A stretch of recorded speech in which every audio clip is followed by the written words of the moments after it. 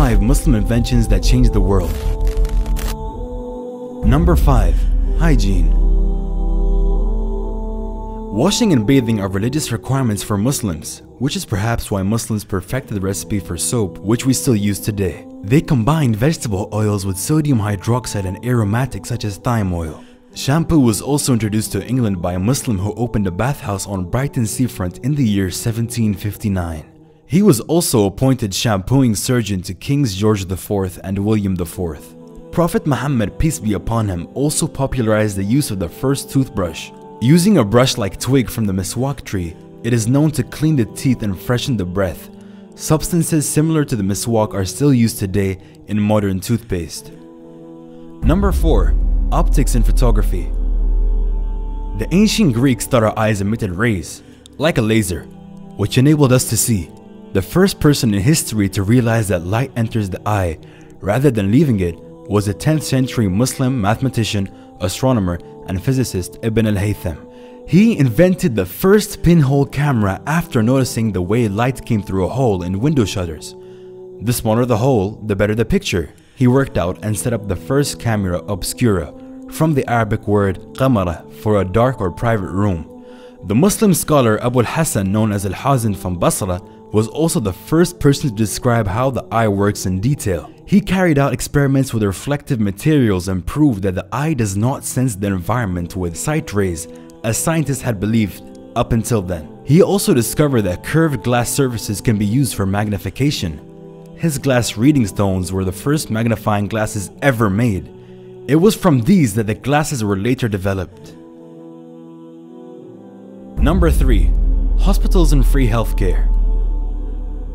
The first modern hospital with nurses and a training center was in Cairo, in the Ahmed ibn Tulun Hospital, which was established in the year 872. The hospital provided free care for anyone who needed it, a policy based on the Muslim tradition of caring for the sick. Although slightly more basic hospitals had existed prior to this in Baghdad, it was a Tulun hospital which would later serve as a template for all hospitals around the globe. Soon after the creation of hospitals, around the year 1000, a Muslim doctor known as Al-Zahrawi published a 1,500 page illustrated encyclopedia of surgery that was used in Europe as a medical reference for the next 500 years.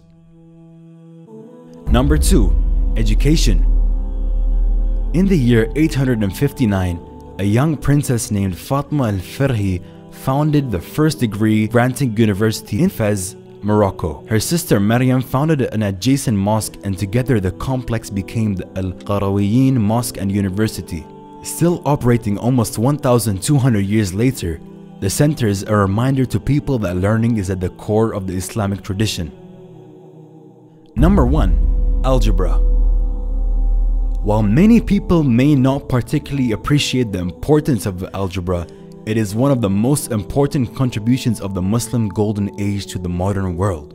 It was developed by the great scientist and mathematician Muhammad ibn Musa al-Khawarizmi, who lived from the year 780 to 850. In his book, the compendious book on calculation by completion and balancing, he set forth the basic principles of algebraic equations. The name of the book itself contains the word al-jabr, meaning completion, from which the Latin word algebra is derived.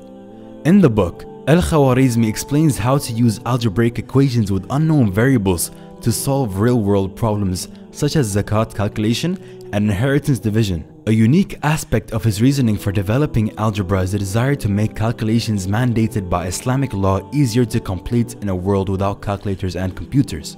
Al-Khawarizmi's books were translated into Latin in Europe in the 1000s and 1100s, where he was known as the Algorithmi. The word algorithm is based on his name and his mathematical works. Without his work in developing algebra, modern practical applications of math, such as engineering, would not be possible. His works were used as math textbooks in European universities for hundreds of years after his death. Thank you for watching our top 5 video. Please remember to like and share this video and check out our previous video on the top 5 misconceptions about Islam.